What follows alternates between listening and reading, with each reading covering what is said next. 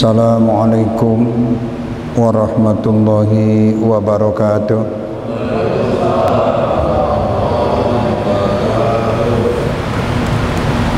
Alhamdulillah. Alhamdulillahil aliyil a'la. Al-waliyil maula Alladhi khalaqa wa ahya wa hakama ala khalqihi bil mauti wal fana wal ba'si ila daril jaza litujza kullu nafsin bima tas'a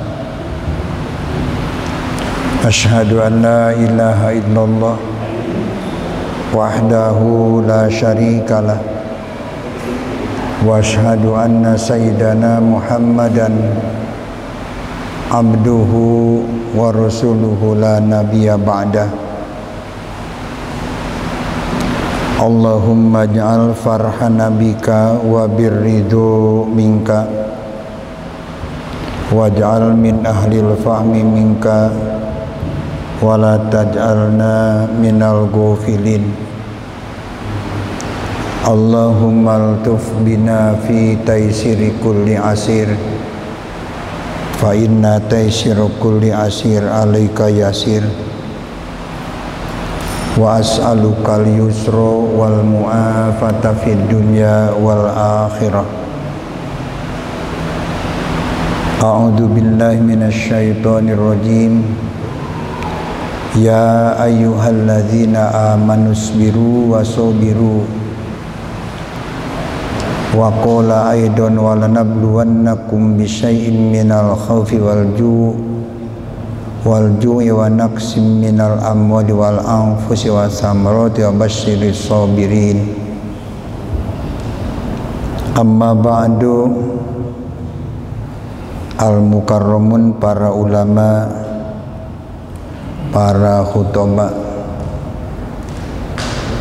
DKM beserta anggotanya hadirin yang sama-sama hadir pada malam ini yang saya, semua saya hormati dan semoga kita mendapatkan rahmat Allah Subhanahu wa taala. Pertama-tama mari kita haturkan puji dan syukur kehadirat ilahi Rabbi yang dengan kudrat irodat ridho dan inayahnya pada malam ini kita dapat berjumpa kembali dalam rangka melanjutkan kajian syahriah yang Alhamdulillah telah berjalan beberapa bulan yang lalu. Dengan pengajian ini mudah-mudahan menjadi tombak atau menjadi pintu gerbang untuk mendapatkan ilmu nafi ridho Allah dan dibarokahi seluruh hidup dan kehidupan kita semua. Amin ya rabbal alamin. Rahmat dan salam kita aturkan pada baginda Nabi Muhammad sallallahu alaihi wasallam dan pada sahabat tabi'in itba'i tabi'in ulama mutaqaddimin wal ulama ul mutaakhirin ulama salaf ulama khalaf. Tentunya tidak lupa kita semua hamba-hamba Allah yang mutaba'ah padanya mudah-mudahan di dunia kita bisa tamasuk megang teguh akan segala titahnya dan bisa menjauhi segala yang dilarangnya. Di akhirat nanti mudah-mudahan kita termasuk hamba Allah yang ikut pada naungan makom mahmudnya beliau diberikan syafaat banyak amin ya rabbal alamin. Hadirin yang saya hormati bapak-bapak sekalian yang hadir pada malam ini. Kajian yang telah kita lalui di bulan lalu adalah kajian yang menjadi tahapan-tahapan untuk sampai pada tingkat ma'rifatullah tingkat pendekatan diri pada Allah tingkat musyahadah dan tajali pada Allah. Sebagaimana telah disampaikan bahwa perjalanan menuju ke hadirat kudsi hadrat Allah. Itu beberapa tahapan yang harus kita lalui. Pertama paroki di makum yakin dan keduanya tahdani di makum marifat. Yang ketiganya tadali di makum nujul atau makum bako badal pana tadani sebelum tadani adalah taroki taroki di dalamnya ada sembilan perjalanan seluruh hamba Allah yang menuju ke hadrat kudsi yang ingin mencapai tahapan ma'rifatullah yang hakiki. Di dalam taroki ada sembilan perjalanan sembilan tangga kesucian yang harus dilalui. Pertama di bulan kemarin telah kita sampaikan pertama adalah taubat. Orang yang berharap usul pada Allah yang berhadap tajalli pada Allah maka pertama harus melakukan pertobatan harus melakukan permohonan ampun atas segala kesalahan sebelum melangkah lebih lanjut maka pertama-tama sucikan diri dulu melalui tahapan-tahapan pertobatan sebagaimana yang telah kita jelaskan di bulan yang lalu. Yang keduanya orang yang berharap untuk sampai pada tingkat usul pada Allah orang itu harus sabar sabar. Apa itu sabar? Definisi sabar. Burudun nafsi an alamil balwa. Burudun nafsi an alamil balwa merasa sejuk atau berusaha untuk menciptakan suasana sejuk hati. Ketika datang ketika terjadi musibah atau balai pada diri kita, pada keluarga kita, pada kehidupan kita bisa menciptakan suasana tenang, suasana sejuk sehingga apalagi dengan suasana keuntungan atau keberhasilan walaupun situasi sibuk situasi musibah dan sebagainya tetap hati kita bisa tenang. Hati kita bisa sejuk. Burudun nafsi an alamil bawah atau definisi lain tarkus sakwa an alamil balwa meninggalkan bercerita akan musibah yang terjadi pada diri kita meninggalkan menceritakan musibah-musibah yang terjadi bencana yang terjadi perfitnahan yang terjadi pada diri kita pada keluarga kita tapi untuk tingkatan bawah la ilallah. Tidak apa-apa cerita musibah terhadap Allah. Ketika kita munajat atau habis sembahyang atau di tengah malam untuk tahapan rendah tahapan bawah tidak apa-apa la ilallah bercerita pada Allah. Ya Allah. Anu anu anu gitu. Begini begini begini begitu begitu. Menceritakan sesuatu yang terjadi pada diri kita kepada Allah nggak apa-apa. Itu pun untuk arifin tidak ada. Walaupun untuk orang tingkatan bawah boleh atau memang tidak apa-apa menceritakan musibah pada Allah untuk arifin tidak. Untuk wasilin tidak. Untuk mukorobin tidak. Tidak bercerita lagi pada kenapa? Karena yakin Allah tahu. Karena yakin Allah sangat memahami sangat mengetahui apa yang terjadi pada diri kita. Tidak usah menyampaikan terjemah atau komentar di hadapan Allah. Karena semuanya Allah tahu. Itu untuk arifin. Kalau untuk tingkatan bawah nah, atas segala musibah segala fitnah yang terjadi boleh diceritakan di hadapan Allah Subhanahu wa taala. Itu sabar tarkus sakwa an alamil balwa. Meninggalkan menceritakan segala musibah di hadapan orang lain.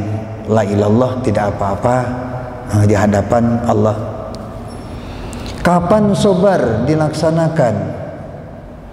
Sobar tidak boleh sisa-sisa.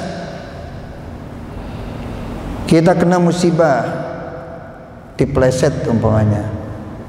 Terus kita diperiksa. Di dokter, di mantri, di dokter belum juga sembuh.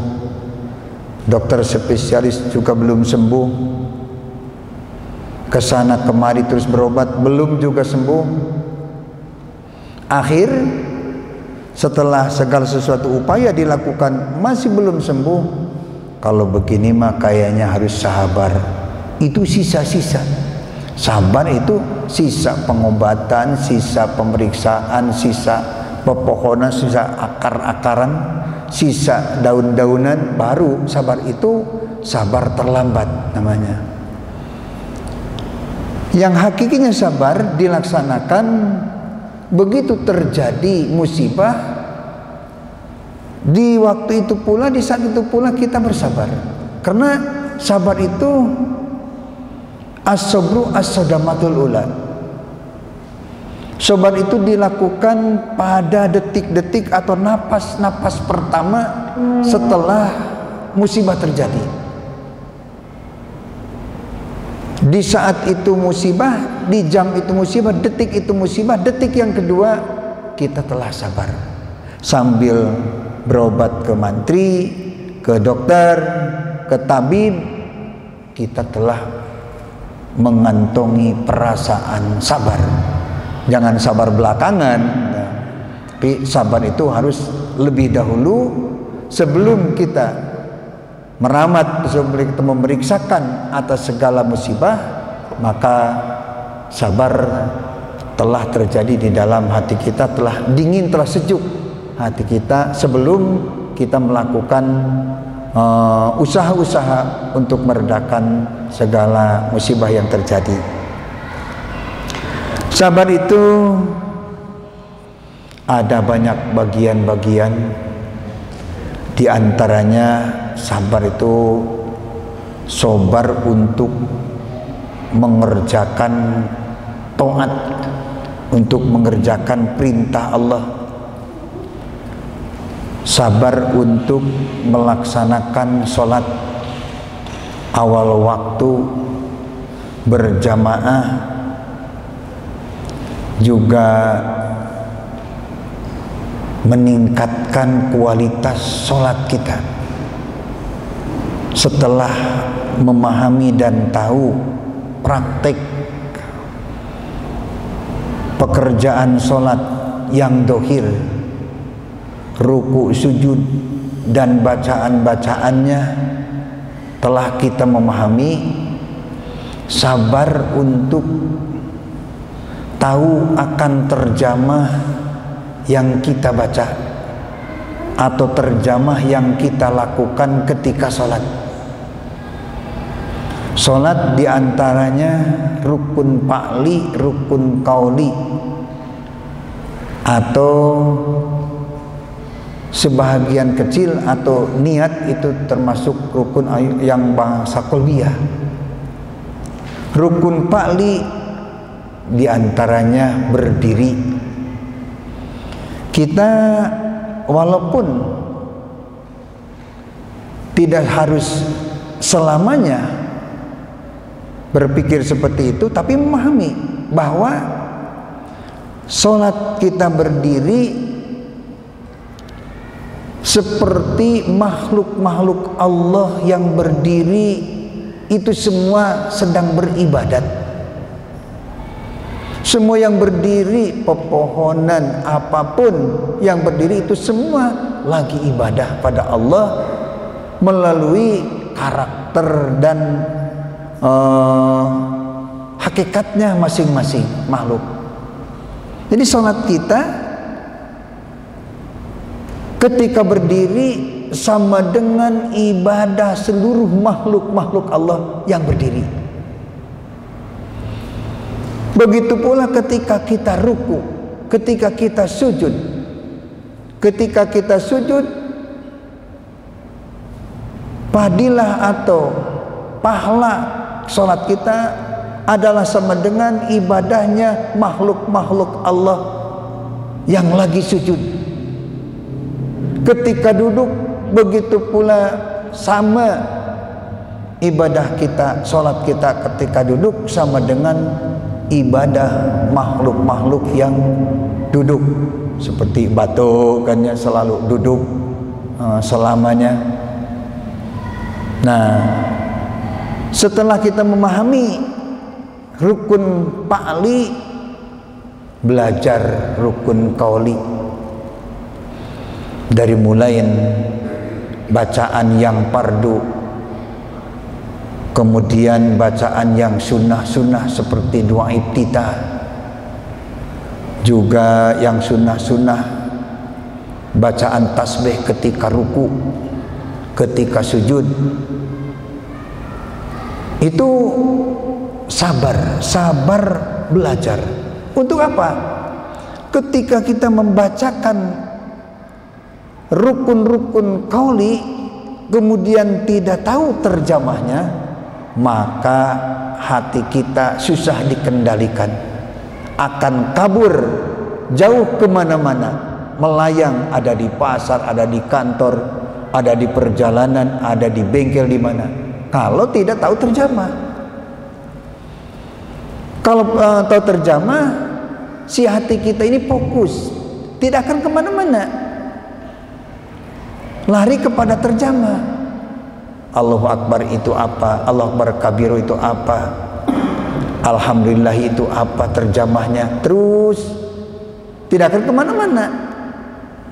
Jika hati kita tidak ke mana-mana tapi ngikut aliran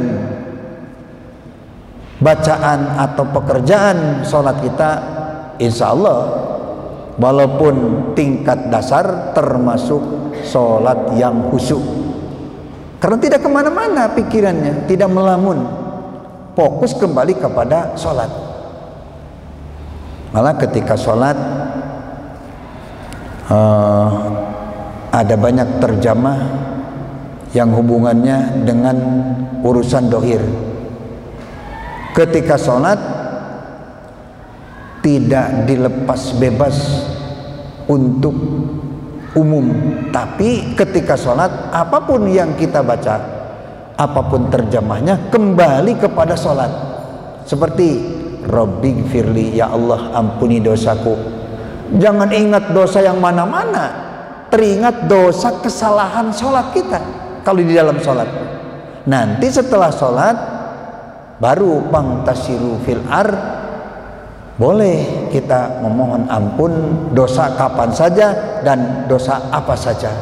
Kalau lagi sholat, supaya tidak ngawur, supaya tidak ke mana-mana, segala sesuatu yang kita baca maknanya kembali kepada sholat. Wajburni semoga Allah nambal segala kesalahan-kesalahan menutupi kesalahan-kesalahan.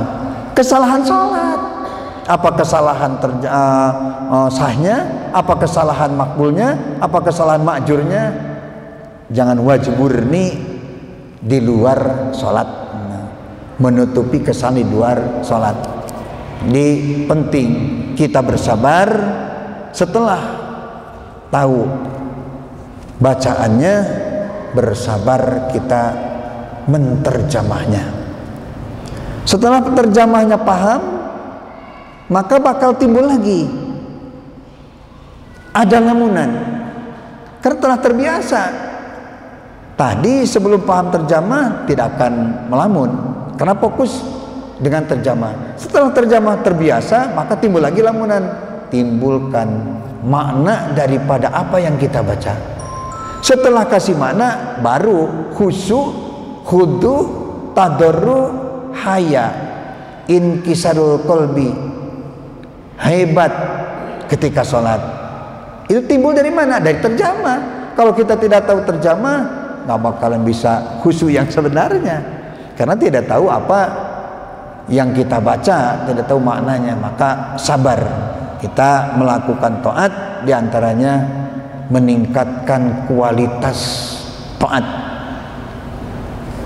Banyak juga ya uh, urusan taat seperti hadir di pengajian itu juga harus bersabar. Sabar. Sinapsu mengajak untuk pergi ke mana untuk melakukan apa. Padahal saatnya waktu belajar waktunya mengaji. Nah itu kita perlu sabar. Orang yang berharap untuk usul untuk tajali pada Allah Subhanahu wa taala maka diminta untuk bisa bersabar pertama dalam melaksanakan atau dalam mengerjakan taat antara lain sabar dalam taat merawat orang tua mendidik anak mendidik keluarga agar keluarga menjadi istiqomah di dalam agama istiqomah dalam syariat istiqomah di dalam torikot istiqomah di dalam hakikat istiqomah dalam syariat selain daripada uh, berkelanjutan berkesinambungan dalam mengerjakannya istiqomah di dalam segala aturan ibadah sampai sah. Istiqomah di dalam torikot istiqomah membersihkan sifat madmumah istiqomah menerapkan sifat mahmudah khusyuknya tadorunya menjauhkan ria ujub dan sebagainya. Istiqomah dalam hakikat berusaha agar hati kita dari awal takbiratul ihram sampai salam selalu ada di hadrat Allah selalu ada di hadapan Allah selalu istiqomah husul pada Allah taala. Itu kewajiban siapa? Kewajiban kita sebagai pemimpin dalam rumah tangga. Ar-rijalu qawwamuna 'alan nisa. Laki-laki lah yang bertanggung jawab untuk meluruskan keluarga khususnya istri khususnya anak. Meluruskan apa? Segala bidang kepentingan rumah tangga. Baik itu urusan makanan minuman pertempatan kendaraan sampai pendidikan akhlak dan keimanan. Tanggung jawabnya kepala keluarga. Maka bersabarlah untuk mendidik anak biar anak menjadi orang yang soleh. Biar anak kita menjadi orang yang ma'rifatullah. Anak yang memahami akan ketauhidan pada Allah Subhanahu wa taala. Dulu pernah diceritakan jika kita sebagai kepala keluarga tidak bersabar untuk mendidik anak yang pada akhirnya anak kita tidak memahami urusan tauhid tidak memahami urusan ma'rifatullah.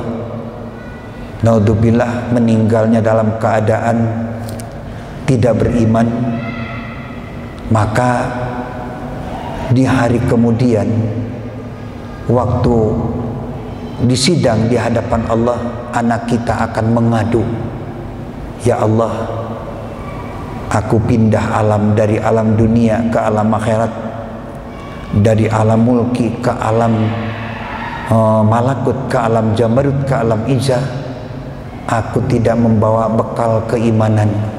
Yang penyebabnya karena aku tidak diarahkan tidak diunjukkan oleh orang tuaku untuk mempelajari keimanan mempelajari ketakwaan.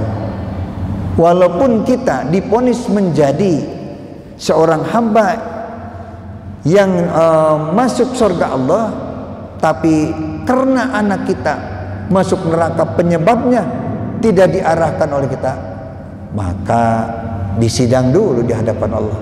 Anak kita mengadu pada Allah Rabbana arinal ladaini minal jinni wal insi.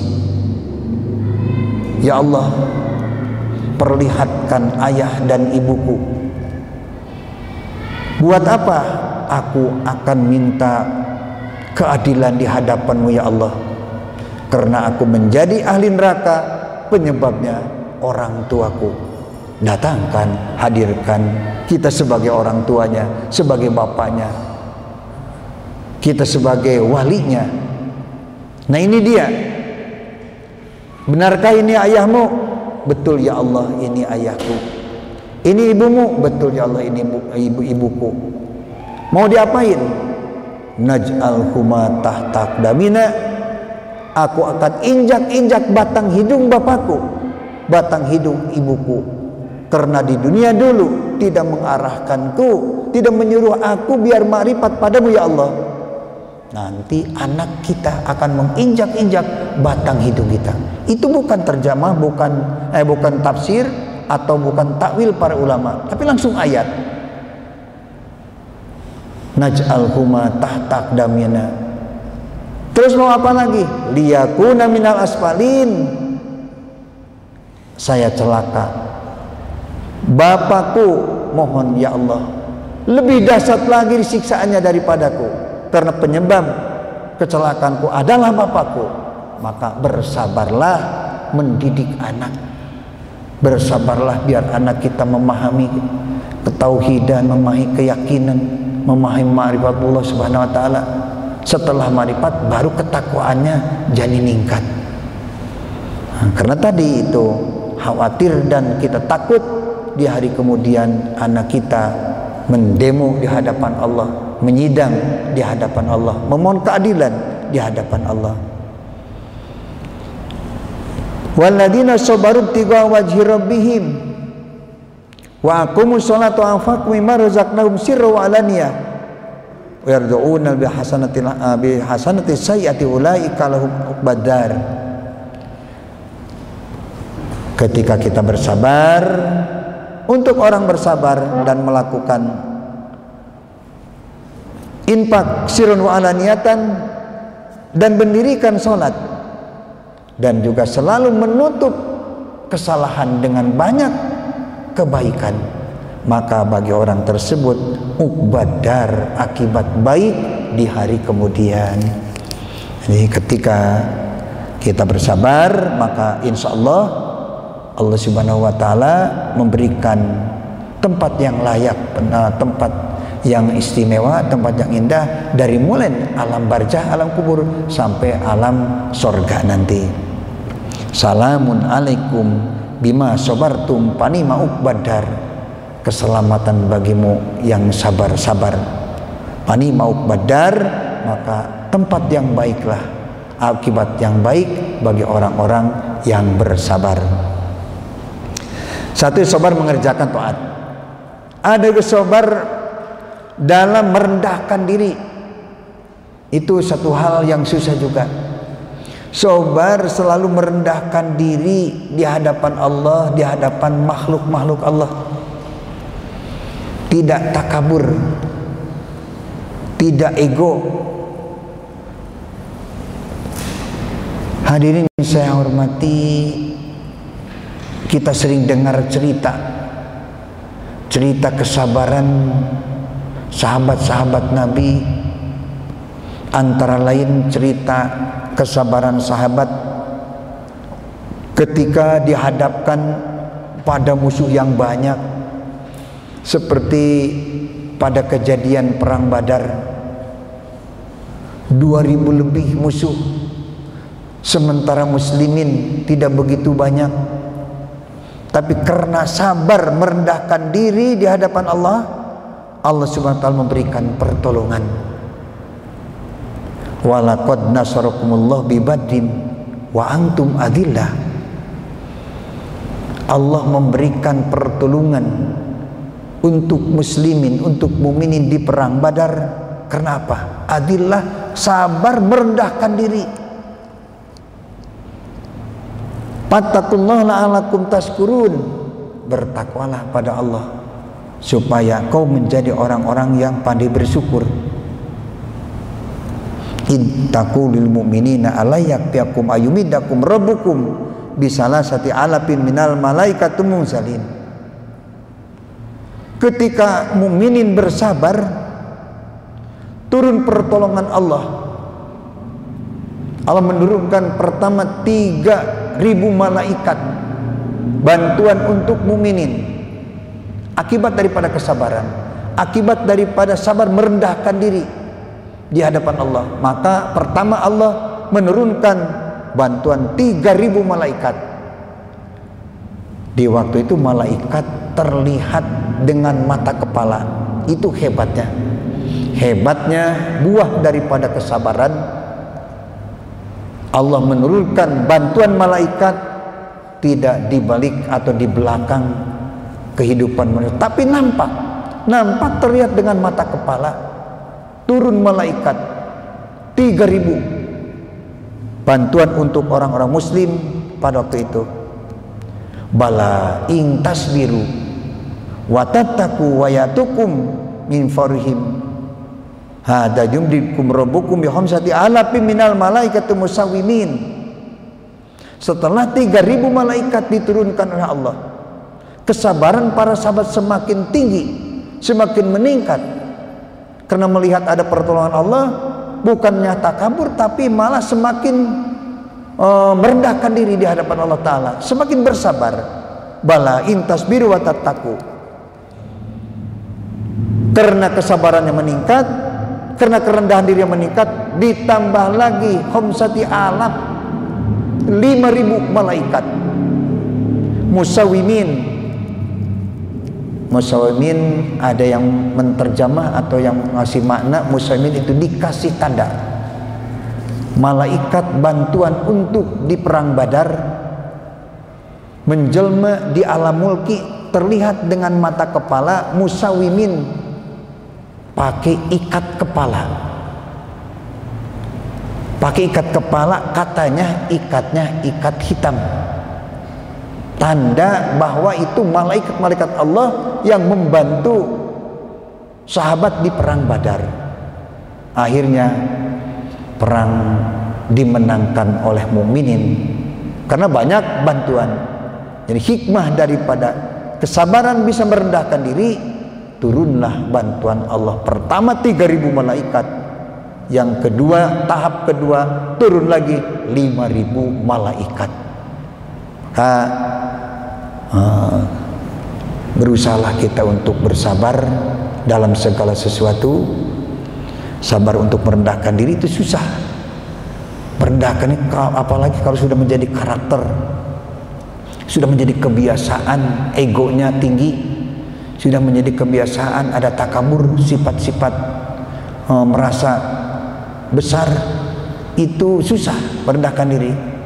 Maka Allah memberikan hadiah untuk orang yang sabar merendahkan diri Allah memberikan e, bantuan.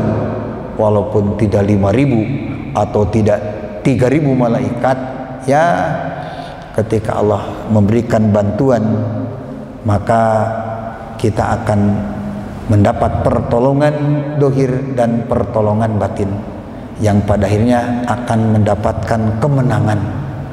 Kemenangan untuk dohir dan kemenangan untuk batin berusaha kasab atau mencari nafkah kalau mendapatkan bantuan Allah akan punya keuntungan, akan menjadi senang, akan menjadi ringan.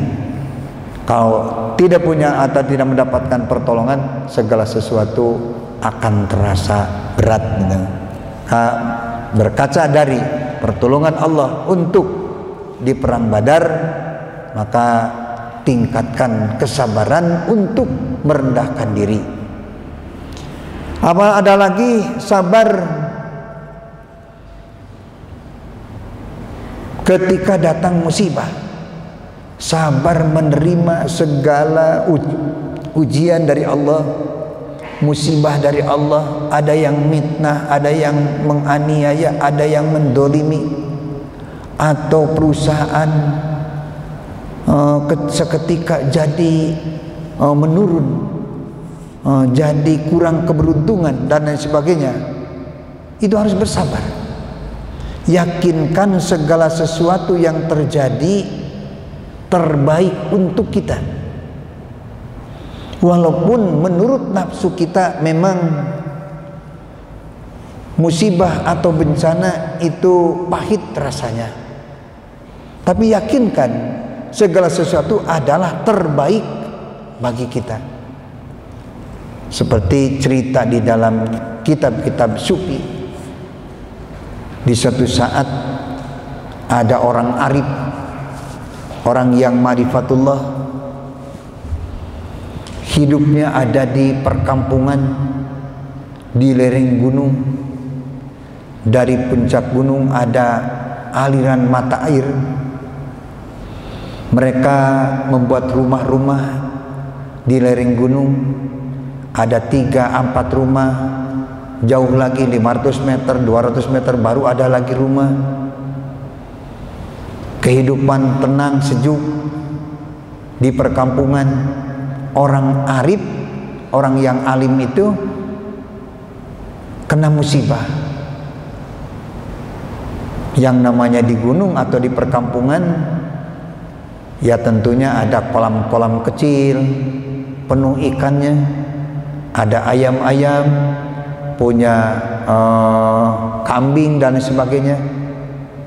Tentunya tidak terlepas dari penjaga anjing untuk menjaga uh, segala uh, kehidupannya. Di suatu saat pertama ikan besarnya ikan besarnya ada yang maling. Bah ikan ada yang maling yang besar-besar. Bersabarlah. Itu semua adalah terbaik bagi kita. Oh itu bah terbaik ya terbaik bagi kita. Menurut Allah itu terbaik bagi kita. Bersabarlah semua.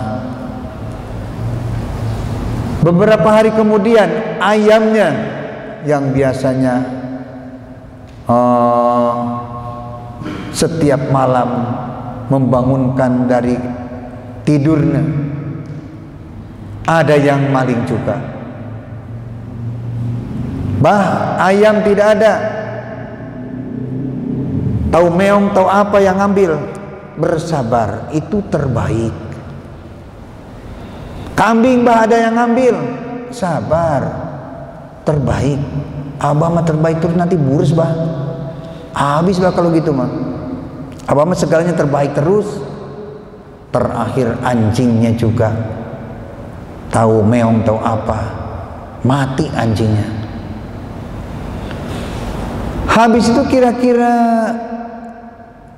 10 atau 15 hari terjadilah perampokan besar-besaran di kampung itu. Si rampong biasanya bukan orang uh, kampung tersebut biasanya orang orang kampung hanya petunjuknya yang merampok orang lain. Tentunya kurang begitu memahami situasi daerah kurang memahami wilayah. Dari jauh mendengarkan mendengarkan di mana ada rumah. Begitu ayamnya anjingnya menggonggong ayamnya bunyi. Terus uh, terdengar oleh si rampok dia merampok Oh di sana ada ayam, berarti ada rumah. Di sana ada kambing, berarti ada rumah. Di sana ada anjing, berarti ada rumah. Terus di, di. Akhirnya ayamnya, kambingnya, ikannya yang melawan orangnya dibunuh. Setelah malam lewat timbullah terang terdengar cerita-cerita orang yang menceritakan ada rampok yang merampok kekayaan-kekayaan. Kenapa? Karena mendengar anjing, mendengar ada ayam. Untuk si Abah, harta yang ada juga rumahnya tidak dirampok karena tidak ada suara. Kambing tidak ada suara, tidak mati. Anjingnya pun tidak ada, ayam juga tidak ada. Jadi selamatlah si Abah rumah tangga si Abah, keluarga si Abah selamat tidak dirampok. Setelah itu baru anaknya, oh iya bah, kalau begitu apa yang terjadi itu terbaik bagi kita. Nah, kita juga sama ketika Allah menurunkan bencana, menurunkan musibah pada kita, maka yakinkan itu semua adalah terbaik bagi kita sampai kematian kita. Mati kita ini terbaik daripada panjang umur tambah dosa. Ini segala sesuatu yang terjadi adalah terbaik bagi kita di hadapan Allah Subhanahu wa taala. Ya, contoh dulu ada uh, seorang dewan dewan di Partai uh, Persatuan di P3 dikasih hadiah mobil. Uh, mobil utuh dikasih mobil. Mobil tersebut berebutan antar tiga dewan kalau tiga si A, si B, kalau si B, si C. Diundi. Akhirnya si B yang mendapat yang mendapatkan mobil. Dua tiga hari sampai seminggu mobil tersebut dipakai jalan-jalan. Si dewan tersebut punya penyakit kram di kaki. Punya penyakit penyakit kram di kaki. Pas jalan siang hari gasnya diinjak kakinya tiba tidak bisa diangkat lagi. Nancap terus si kakinya digas. Mobil tiba bisa dikendalikan. Akhirnya nabrak pohon meninggal. Bagaimana yang tidak kebagian? Untung tidak aku yang uh, punya mobil yang kebagian mobil. Ya. Pertama memang uh, menyesal. Wah orang lain yang uh, punya mobil. Kita tidak punya mobil. Setelah melihat mobil menjadi penyebab kematian untung kita tidak kebagian mobil katanya. Jadi terbaik gitu. Kita yakinkan bahwa segala sesuatu adalah terbaik bagi kita. Sabar. Innama sabrum alal qada'i ilmuhum bi anna anna sabra yurisu ridho orang bisa sabar akan segala kepastian dari Allah walaupun pahit karena mengetahui bahwa sabar itu akan menimbulkan ridho Allah. Setelah ridho, jangankan kita sehat, walaupun sakit, kalau mendapatkan ridho Allah tetap punya keuntungan. Jangankan di sorga Allah, walaupun di dalam neraka Allah, kalau diridhoi Allah tetap akan senang seperti di lembaga pemasyarakatan di dunia. Orang yang uh, penjahat dimasukkan ke rumah uh, pemasyarakatan lembaga pemasyarakatan emang hina dan juga uh, resah gelisah. Tapi bagi polisi yang ridho pemerintah untuk mengurus uh, lembaga pemasyarakatan malah digaji malah enak-enak ya ada di lembaga pemasyarakatan. Jadi ridho Allah timbul dari uh, sobar akan takdir Allah. Man lam yastaslim liqodoi walam yasbir alal balai walam yaskur ala na'mai pal yatlub robban siwai wal yakhruj min tahtis samai wal ardi Siapa orang yang tidak sabar akan kodok kodar dariku? Siapa yang tidak bersyukur atas nikmat-nikmatku? Maka carilah Tuhan yang lebih adil daripadaku. Namun tolong jangan duduk di bumiku. Jangan tinggal di bumiku.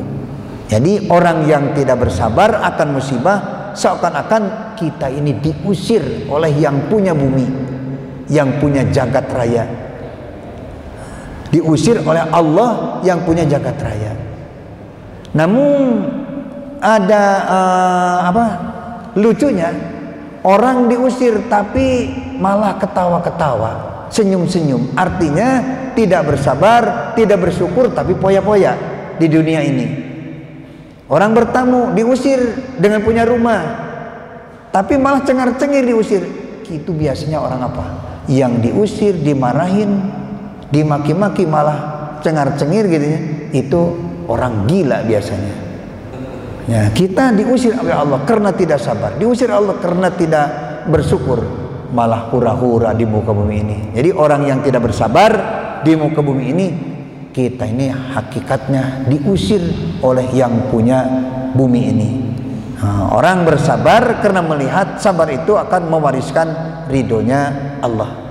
Innama sabru ala akdarihi Mestinya seseorang itu bersabar akan qadar Allah ilmuhum bima auda'a fiha bin lutfihi. Karena tahu Allah menyiapkan lutfunya Allah kasih sayangnya Allah di dalam sabar. Mayusibul mu'mina min wasabin wala nasabin wala sakumin wala hazanin illa kafaru bisayatahu tidak ada satu musibah kecil apalagi besar tidak ada satu sakit yang terjadi pada diri seseorang tidak ada perasaan prihatin illa kafaru atau angin semuanya menutup akan kesalahan-kesalahannya. Wa inna mahama sa'atan takfuru sayyata sanatan. Mestinya seseorang dikasih musibah satu jam sakit satu jam. Ngikuti aturan Rasul. Ngikuti aturan-aturan hukum syara. Rasulullah uh, semasa hidupnya di uh, demo atau diajuin pertanyaan oleh sahabat. Ya Rasulullah sahabat bertanya ya Rasulullah ketika aku ditimpa musibah sakit umpamanya apa yang aku harus uh, aku lakukan? Atau apa yang harus aku baca Rasulullah mengatakan ketika kamu sakit maka bersabar dan bacalah perbanyak baca surat Al-Ikhlas. Kenapa ya Rasulullah Al-Ikhlas yang aku baca?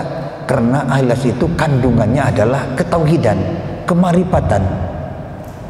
Karena keimanan, keyakinan kandungan Al-Ikhlas. Jadi ketika kita sakit maka satu bersabar dan keduanya perbanyak bacaan surat Al-Ikhlas. Diulang-ulang terus surat Al-Ikhlas seseorang sakit sabar maka satu jam sakit takfurus atas sanatan menutup menghapus dosa satu tahun maka orang uh, bisa bersabar. Betul-betul. Sehingga walaupun dalam keadaan pahit bisa burudun nafsi bisa sejuk hatinya karena melihat melihat keuntungan pengampunan dosa yang luar biasa. Satu jam saja kita sakit satu tahun diampuni dosa. Kalau satu hari satu malam 24 jam sakit sehari semalam sabar dan juga selalu membaca surat al-ikhlas maka sama dengan kita menghapus dosa eh, uh, 24 tahun satu minggu berapa jam? Satu minggu. Ini satu jam saja, satu tahun dosa dihapuskan. Maka dengan uh, padilah yang seperti itu, maka orang-orang bisa bersabar, bisa sejuk, bisa tenang ketika mereka ditimpa musibah sakit umpamanya. Itulah di antaranya paidah-paidah kesabaran. Setelah sabar dilakukan, maka Allah mengatakan, "Hei orang-orang mukmin, ketika kau setelah sabar, udah terbiasa sabar, hari-hari kita, maka sabar bisa dipergunakan untuk memohon pertolongan. Allah mengatakan, "Wasta'inu bis-sabri was-shalah." Meminta pertolonganlah kalian dengan sabarmu dan sholatmu sholat yang sah, makbul dan makjur, maka sholat tersebut bisa diminta pertolongan. Artinya ketika kita punya kesulitan, kita punya masalah di dalam rumah tangga kita, pribadi kita atau dalam perusahaan kita, boleh memohon tolong pada Allah melalui sholat. Sholatlah dua rakaat, sholatlah empat rakaat. Ya Allah, berikan uh, kesenangan, berikan lagi kepulihan, berikan lagi uh, kelancaran dalam usahaku. Wasta'inu bisobri wasolah. Ya Allah berikan kelancaran, berikan uh, perjalanan yang uh, lurus bagi usahaku lewat sabarku. Ya Allah kalau betul-betul sabarku udah punya padilah diterima kemudian di, di, di majur maka hasil daripada sabar itu uh, berikan kelancaran untuk usaha boleh wasta'inu bisobri wasolah ada cerita orang yang masuk ke dalam guha uh, begitulah masuk di dalamnya maka ada batu yang menutup menutup seluruh lubang. Jadi tidak bisa keluar orang bertiga. Satu orang yang sabar dua yang uh, rajin sholat dan ketiga orang yang uh, mengurus merawat orang tuanya. Bagi uh, orang tersebut sudah kesusahan, sudah kebingungan, susah, diraba-raba tidak ada celah untuk bisa keluar. Maka masing-masing uh, uh, komunikasi dan bertanya, kamu punya kebiasaan baik apa sehari-hari kamu? Aku hari-hari merawat ibuku. Sebelum ibuku dirawat, aku tidak melaksanakan kegiatan apa pun.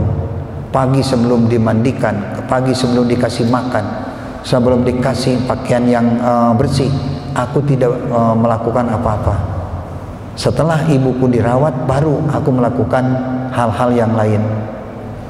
Coba kamu meminta pertolongan kepada Allah untuk dibukakan pintu uh, batu yang menutup gua ini.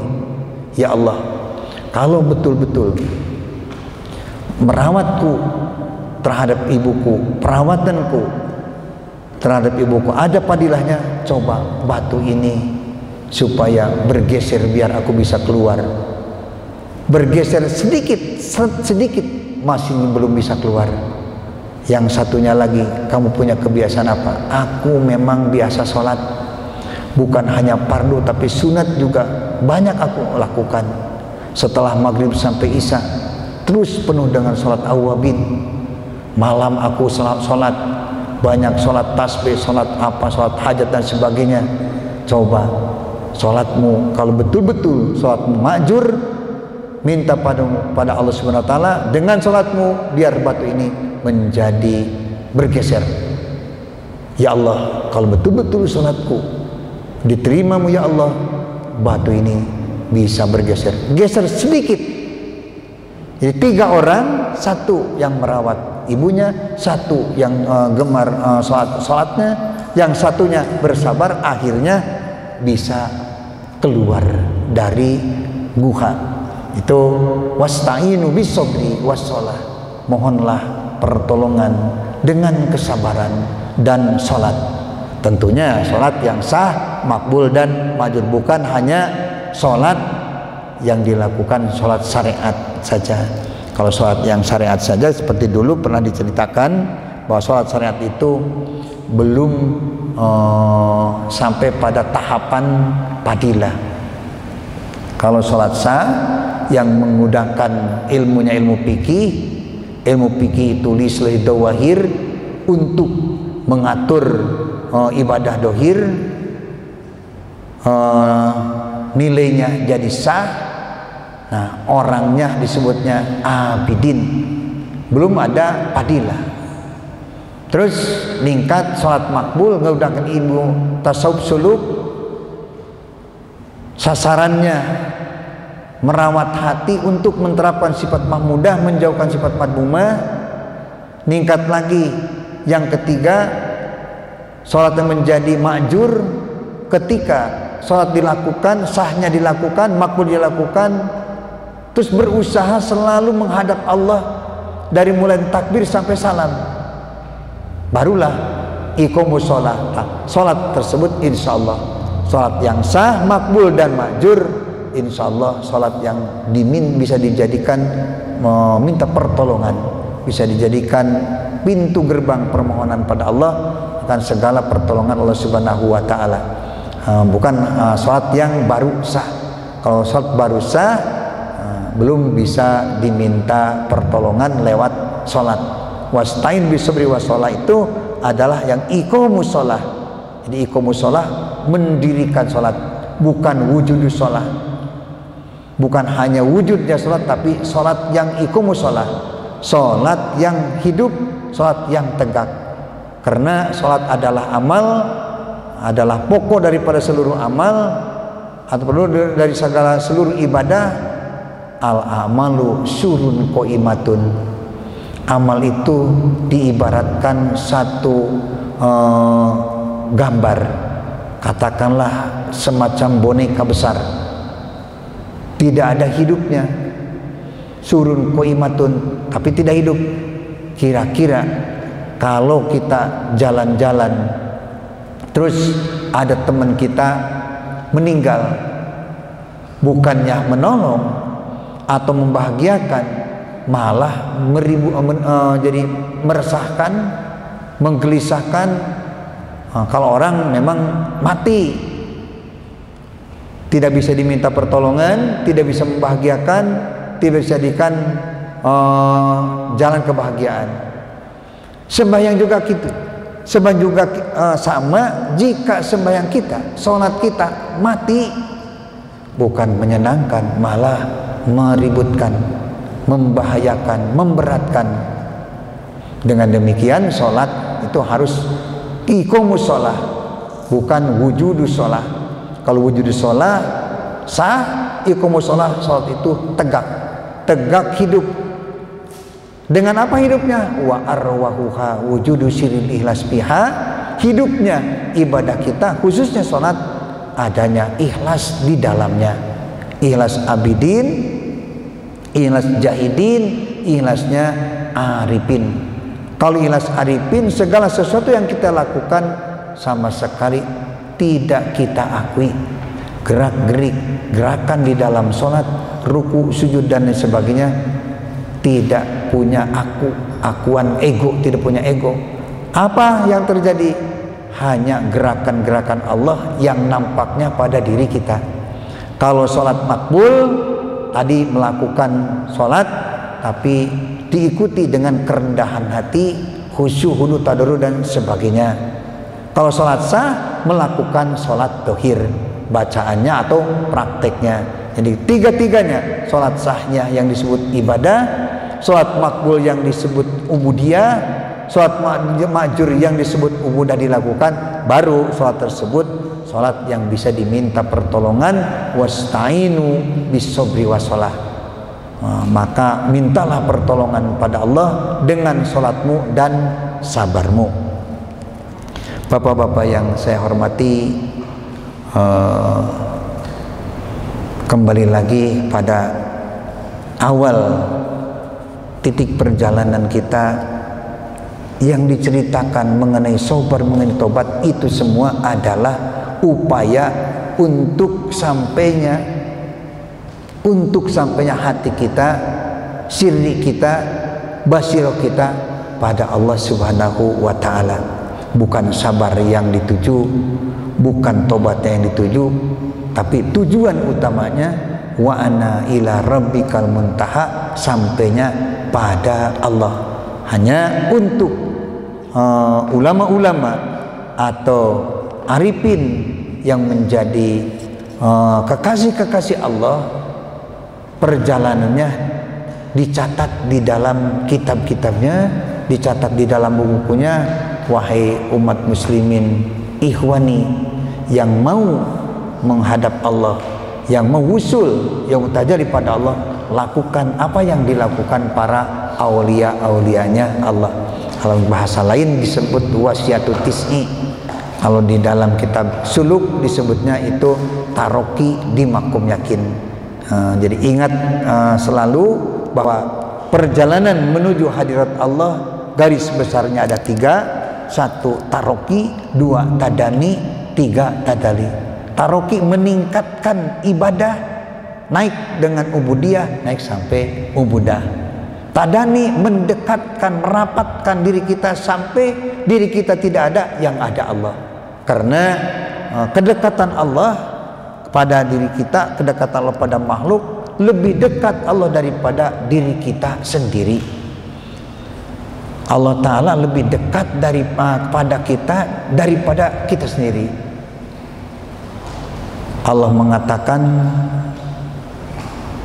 kalau Muhammad kalau umat mau bertanya tentangku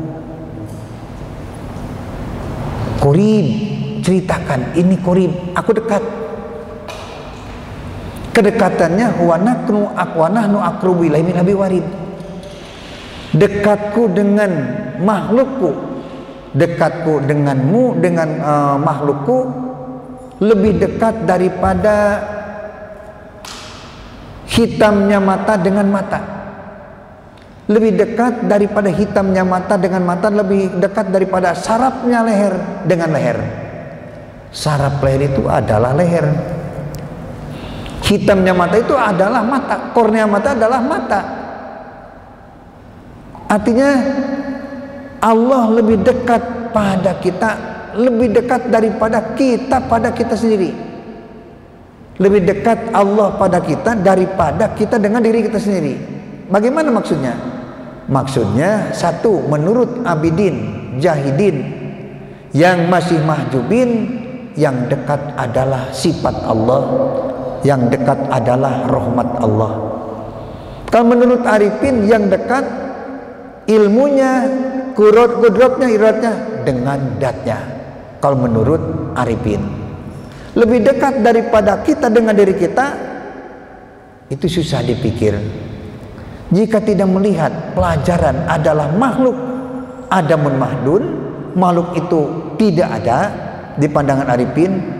Walaupun ada kaspatal pana seperti uh, tertutup awan atau surah mutahoyalah bil hawa seperti bayangan di udara makhluk itu kalau kata mata arifin. Nah kalau melihat makhluk adamun mahdun merujuk pada kuluman aliyafan wayab jurubika jul jali wal ikram ayat yang tadi wa nahnu akrubu ilaihi min warid aku lebih dekat pada makhlukku daripada uh, orang tersebut pada dirinya. Lebih dekat Allah pada kita lebih dekat daripada kita dengan diri kita sendiri maksudnya apa?